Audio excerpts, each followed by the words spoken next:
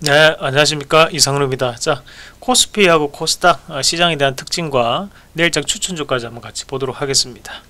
자, 우선 오늘 코스피 1.8% 그리고 코스닥은 0.6%또 상승 마감을 했습니다. 자, 모처럼 만에 이런 상승 랠리를 좀 이어가면서 긍정적인 움직임을 나타냈고 자 거기에서 우리가 또 눈여겨볼 수 있는 것이 환율이 환율이 좀 안정되는 모습 보이면 1418원 15전을 기록을 했습니다 유가는 87달러를 기록을 하는 모습이었습니다. 음, 환율이 이제 지수에 대한 발목을 많이 잡았죠. 잡았었는데 뭐 이렇게 안정되는 모습에 대한 환율이 나타나면서 물론 뭐 워낙 약세 기조는 여전합니다. 여전하지만 우리가 이제 1450원에 대한 돌파가 이루어지면 그때는 이제 위험하다라는 말씀을 드렸었는데 다행히 1450원에 대한 돌파가 이루어지지 않고 있고 어, 오히려 이제 일부 안정화되는 모습을 좀 보이면서 시장도 그에 따른 안도감을 나타내고 어, 상승을 하는 모습들을 어, 보여주고 있습니다. 자 코스피에서는 개인이 7,233억 원 매도, 어, 그 외국인이 4,946억 원 매수, 기관이 1,941억 원 매수, 외, 기, 코스닥에서는 어, 개인이 180억 원 매도, 어, 외국인이 473억 원 매수, 그리고 기관이 131억 원 매도를 어, 나타내면서 양시장 모두 다 이제 외국인들에 대한 활약이 지수를 올리는 모습을 보였고 좀 이따 다시 한번 이 외국인에 대한 수급은 말씀을 드리도록 하겠습니다. 자 오늘 특징 네 가지 먼저 뭐 내일장 추천주 어, 또 봐야겠죠. 어, 그리고 이제 저희가 전일 또 공개방송을 진행했는데 공개방송 진행했던 또 사마알미늄이 오늘 또 급등이 나타났습니다. 자 공개방송 꼭 챙겨 보시고요. 그때 말씀드렸던 종목군들 뭐 상한가를 가는 종목도 있었고 어, 급등 다음날 급등하는 종목군 그 오늘 또 사마알미늄도 급등하면서 신고가를 보이는 모습이었는데 자 오늘 추천주도 어, 확실할 수 갈 수 있는 어, 기업 준비했으니까 마지막 꼭 한번 들어보시고요. 자, 미국 증시에서 우리가 11월 달 가장 중요한 변수가 있는데 자, 어제 공부를 했다 그죠? 그래서 그 내용을 좀 더 정리를 해서 추가하는 내용하고 같이 한번 보고 자, 두 번째는 이제 thank you 외국인 자, 2350포인트가 고점일까? 아니면 2420포인트일까? 아니면 돌파를 할지 자 그리고 이제 반도체보다는 2차전지 자 오늘도 달린다 라는 내용으로 함께 보도록 하겠습니다. 자, 우선 이제 미국 증시에 대한 중요한 일정들을 좀 판단을 해봐야 될 것 같은데요.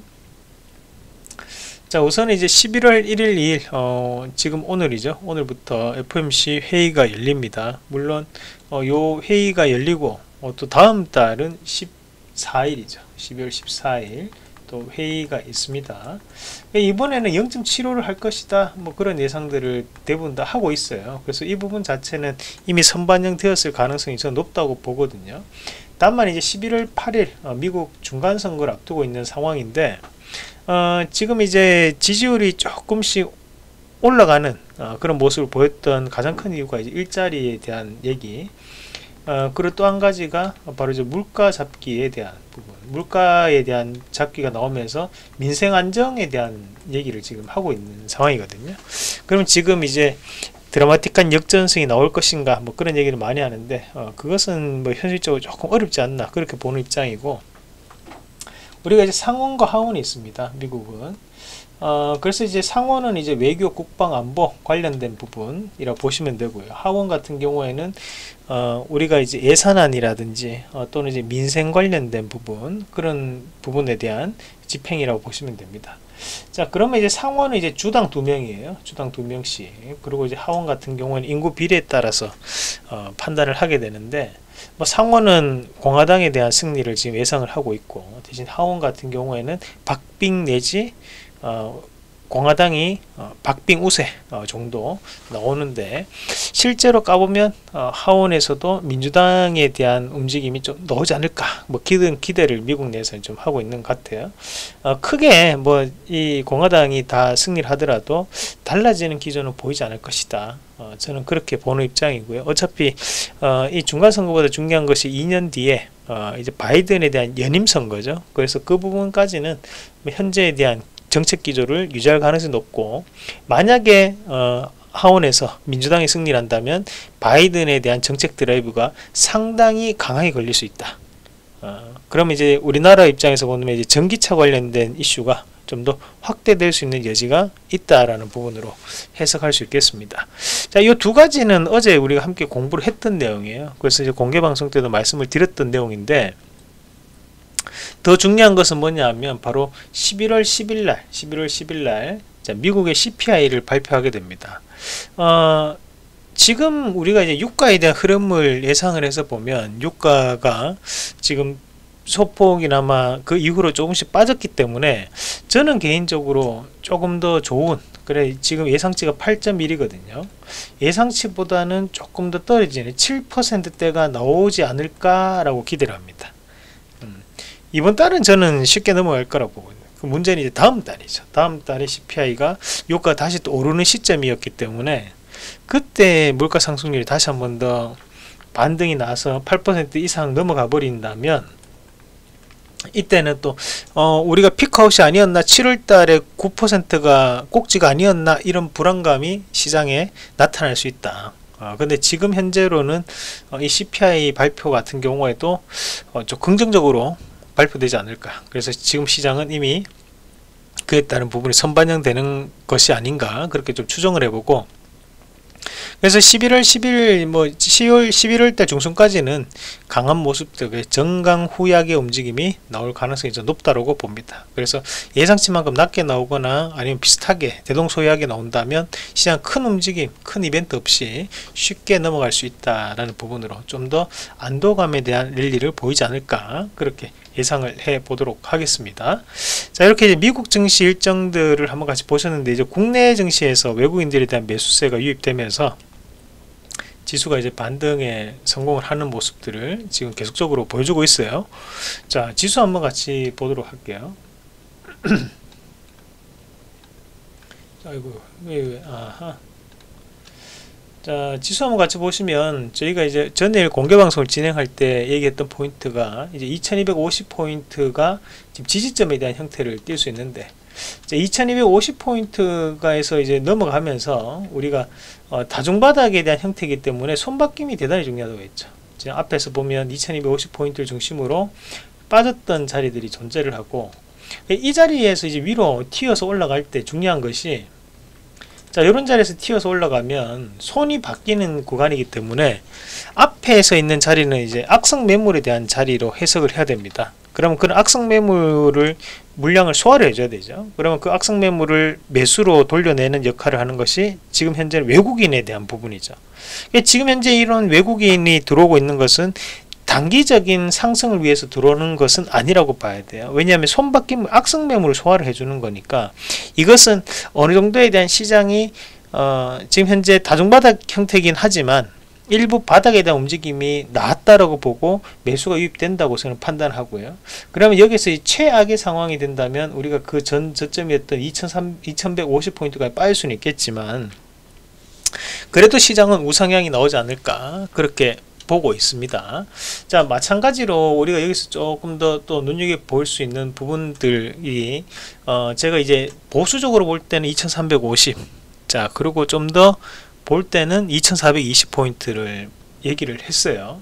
그래서 오늘도 다시 한번 상승하면서 뭐 2335포인트, 2350포인트까지 거의 뭐 근접하면서 마감이 됐는데 어, 지금 현재 이 구간은 갭이 있던 구간들이기 때문에 좀 쉽게 올라갈 수 있는 자리들이에요. 다만 2420포인트에 대한 부분은 앞에 이제 매물이 꽤 많거든요. 그러니까 이 물량들을 다 소화를 해야 되니까 저는 일단 2350포인트까지는 한번 오를 수 있다. 어, 그래서 그 오르는 폭이 어떤 식으로 올라가는지를 먼저 확인하고 우리가 그 다음 2420을 한번 바라보자 라는 말씀을 드리도록 하겠습니다. 그래서 지금 현재 수급은 외국인에 대한 매수 수급이 대단히 좋은 것이다. 음, 그 말씀을 다시 한번 드리도록 할게요.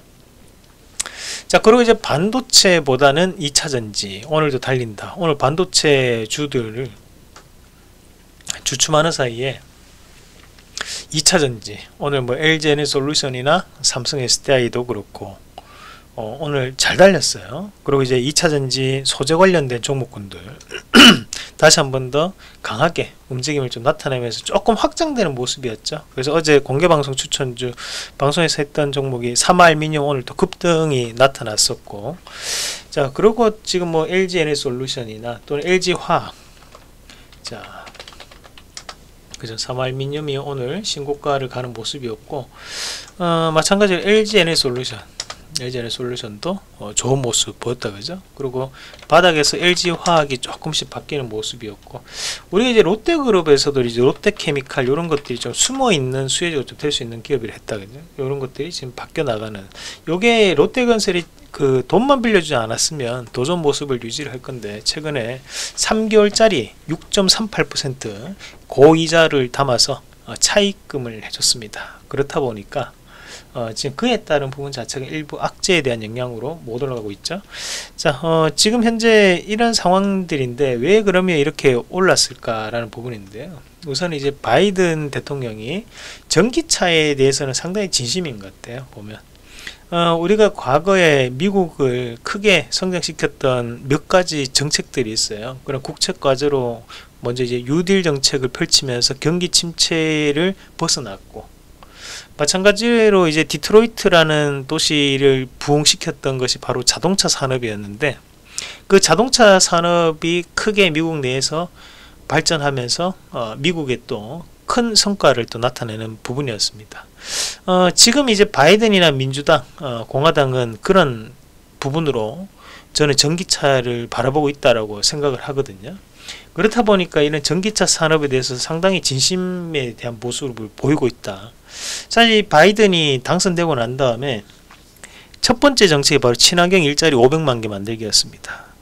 오바마가 8년 동안 연임을 하면서 만들었던 일자리 200만 개거든요. 추산을 할 수 있는데요. 사실 500만 개는 택도 없는 소리입니다. 말도 안 되는 소리예요. 하지만 어, 우리가 이제 그 정도 목표를 잡고 간다는 것은 그만큼 이제 친환경 일자리. 어, 그러면 우리가 뭐 태양광이나 수소나 전기차라든지 이런 분야를 모두 합쳐가지고 얘기를 하는 건데 특히 이제 미국이 지금 원하는 것은 서비스업에 대한 확장이 아니라 질적인 일자리를 원한다고 보셔야 돼요. 기술적인 부분이라죠. 어, 그러면 지금 현재 이런 친환경 일자리 안에서도 전기차 관련된 일자리에 대한 부분 자체를 상당한 드라이브를 걸 가능성이 높을 수밖에 없다는 거예요. 그러면서 미국 내에서 어, 자원에 대한 개발부터 시작을 해가지고 소재 산업이라든지 아니 마지막 완성품까지 미국에서 모두 다 다이렉트로 다 할 수 있는 구조를 만들겠다라는 거예요. 음. 거기에 따라서 지금 현재 국내 기업들이 어, 수혜를 보지 않을까. 그렇게 지금 해석을 하고 있는 거고. 사실 이제 우리가 8월 10일 날 특집 방송으로 미국 전기차 관련된 이슈로 한번 유튜브 영상을 올렸던 적이 있습니다. 그때 내용인데 미국 인플레 감축법이 상원에 통과했다. 그러면서 전기차 배터리에서도 중국을 차단하겠다.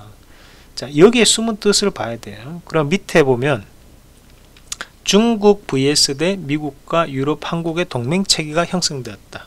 자 우리가 이 내용을 언제 공부했습니다. 8월 10일 날 8월 10일 날 공부를 했던 내용입니다. 유튜브에 올라져 있어요. 자, 근데 요때 했던 내용 중에 하나 눈여겨봐야 되는 것이 자, 우리가 눈썰미가 좋으신 분들은 요 그림을 기억을 하실 겁니다. 자, 작년 판매량 666만 대 중에 절반이 중국에서 팔렸다. 절반이 중국에서 팔렸다. 자, 두 번째로 많이 팔린 것이 독일이에요. 세 번째로 많이 팔린 곳이 미국, 영국, 프랑스, 노르웨이, 이탈리아, 스웨덴, 한국 순인데 자 중국을 제외하고 나머지를 다 합치더라도 지금 현재 50%안 돼요. 50%안 됩니다. 자 테슬라를 가장 많이 샀던 곳이 어딜까요? 그것도 중국이에요. 그러니까 중국이 LFP 배터리를 쓰는 이유는 뭘까요? 중국 현지 판매를 늘리고자 하는데 목적이 있는 거예요. LFP 배터리가 좋아서 쓰는 게 아니라는 거죠. 자, 마찬가지로 지금 현재 또 봐야 되는 것이 자, 중국이 전기차 수출의 세계 1위가 됐다. 자, 중국의 최대 전기차 수출 지역은 유럽이다라는 거 얘기를 했어요. 자, 중국이 지난해 전 세계 전기차 생산량의 57%를 차지했다라고 했어요. 생산도 57%를 차지하고 있고, 그리고 거기에 소비도 현재 57, 50% 이상을 또 차지하고 있다는 거. 그만큼 중국이 이렇게 전기차 시장에서 커지다 보니까 그것을 견제하기 위해서 견제하기 위해서는 반드시 우리나라가 필요한 겁니다. 유럽이라든지 미국이 이만큼 2차 전지에 대한 기술력이 안 올라가는 상황이에요. 그렇다 보니까 우리나라 2차 전지 셀 업체들 그리고 소재 기업들 관련된 기업들에 대한 재평가가 현재 나타나는 그런 과정이라고 봐야 되는 거고 자, 요 표를 우리가 눈여겨 봐야 됩니다. 별표 3개 해 놓을게요. 자, 2차 전지 글로벌 점유율 8월 때까지에 대한 내용을 보면 자, 여기에서 이제 숨은 의미를 우리가 좀 봐야 되는데 가장 점유율 높은 곳이 이제 CLTL이에요. 우리가 흔히 이제 닝더스다이라고 하죠. 그 두 번째가 이제 LG 에너지 솔루션, 세 번째가 BYD, 네 번째가 파나소닉. 다들 아시죠? SK온이 이제 SK이노베이션의 어, 물적 분할, 자 삼성 SDI 순입니다. 자 여기에서 이제 봐야 되는 것이 자, 우리가 CLTL과 BYD가 성장률이 어마무시합니다. 100% 이상을 지금 찍고 있어요. 자, 왜 이렇게 찍을 수 있을까? 결국에는 중국의 전기차 시장이 엄청나게 확대가 되고 있다 보니까 대부분이 자국 물주를 주는 자국 물량으로 넘기는 거죠. 잉드스다이라든지 또는 BYD 쪽으로 물량을 다 넘기는 겁니다. 자 그러면서 지금 현재 점유율을 봐야 되는데 자 CLT에 이렇게 성장을 하면서 지금 현재 2022년 점유율이 35%까지 올라왔어요. 2021년보다 더욱더 점유율이 높게 올라갔고 대신 LGN의 솔루션이 많이 줄었습니다. 자 왜 줄었을까요? 자, 전 세계에서 중국이 전기차에 대한 50% 차지하다 보니까 줄게 된 거지 LG 에너 솔루션이 안 좋아서 준 게 아니라는 거죠. 자, 그 말은 결국 중국에서 생산을 하고 중국에 소비하는 어, 2차 전지 전기차에 대한 배터리는 다 중국산을 쓸 수밖에 없는 상황이 된 거예요. 그러면 중국산을 포함해 가지고 어, 저는 이렇게 해석을 하는 게 맞다고 봐요. 2022년도 중국이 현재 전 세계에서 어, 50%에 대한 점유율을 차지하고 있잖아요. 그죠? 자, 거기에서 지금 현재 CLTL이 35%고 지금 BYD가 12%입니다. 자, 우리가 중국이 현재 50%를 점유율 차지하고 있고 거기에서 지금 35.5를 더하면 자, 얘네들이 47.8, 아, 40, 48.2죠. 48.2를 현재 중국산이 배터리 시장에서 차지하고 있다는 거예요. 음. 자, 그러면 우리가 다르게 생각을 해보면 결국에는 중국 놈들은 중국 배터리 쓴다는 거예요. 그죠? 그럼 LG 에너지 솔루션이나 SK온이나 삼성 SDI는 어떻게 성장할 수 있을 것인가요? 그 미국과 유럽이 시장이 커지면 중국 업체가 수혜를 받을 것인가 국내 업체가 수혜를 받을 것인가 저는 이게 핵심이라고 봐요. 중국 업체가 수혜가 돌아가지 않는다는 거예요. 왜? 이미 과점을 형성했는데 미운 중국을 미국이나 유럽이 도와줄 리 없다는 거예요. 현재 구간에서는 우리나라 기업들을 키울 수밖에 없다는 거죠. 우리나라만큼 기술적인 부분이 올라왔다면 상관없지만 그게 아닌 상황이기 때문에 저는 충분히 우리나라 기업들이 현재는 미국과 유럽에 대한 수혜를 받을 수밖에 없다고 보는 거예요. 실제로 3분기 실적에서도 LGN의 솔루션이 미국의 환율 효과로 인해서 좋은 실적이 발표가 되고 이런 양상들이 나올 수밖에 없는 상황이기 때문에 저는 우리나라 2차전지 기업들이 11월 달에도 좋은 움직임이 보일 것이라고 보는 겁니다. 지금 이제 2차전지 안에서도 우리가 예전에는 필수 4요소라고 했죠. 그래서 분리막, 전해질, 양극, 음극이라 봤다면 이제는 좀 더 세분화돼서 마이크로적으로 들어가서 종목군들이 나오고 있는 상황이에요. 그래서 2차 전지라는 하나의 그 섹터군 안에서도 좀 더 세분화되는 양상들이니까 꼭 그에 따른 종목군들 함께 지켜보시면서 매매를 하시면 좋을 것 같습니다. 그렇다고 해서 반도체가 안 좋은 건 아닙니다. 다만 이제 반도체는 일반적인 메모리보다는 비메모리 쪽이 훨씬 더 지금 현재 삼성전자 승부를 걸고 있다. 그렇게 알고 가시면 될 것 같아요. 자, 어, 이렇게 이제 오늘 내용을 한번 다 같이 보셨습니다. 그래서 저희가 전 방송사 예, 뭐 매일경제TV, 서울경제TV, MTN에서도 좋은 모습 보여드렸었고 현재 한국경제TV에 어, 출연을 하고 있습니다. 자 내일장 추천주도 보시면 일단 YM텍 자 YM텍 같은 경우에는 미국 충전소 인프라고 확대될 때 수혜를 볼 수 있는 기업이에요. 그래서 현재 24개국에 납품이 이루어지고 있는데 미국에도 직접적인 어, 납품을 했던 기업이기 때문에 충전소 인프라 확대에 따른 수혜주다.